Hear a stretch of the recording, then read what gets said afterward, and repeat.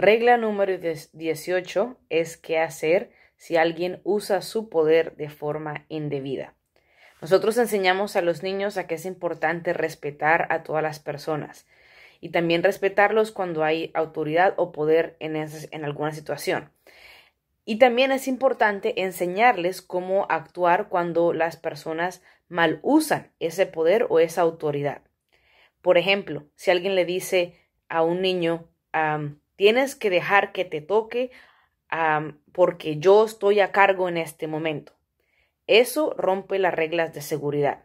Es importante enseñarles a los niños cómo actuar en ese momento, diciéndoles que pueden poner sus manos al frente, con una actitud calmada y confiada, decir basta o voy a contarle a alguien. Basta o voy a reportarte. Basta o voy a acudir a otra persona. Voy a contar. Entonces, el escenario que puedes practicar con tus niños, con tus niños en casa, es de que les puedes decir que tú vas a ser una persona que está a cargo o que tiene cierto poder, puede ser un compañero también en la escuela, y que diga, tú, tú vas a decir, voy a hacer esto porque yo estoy a cargo ahora.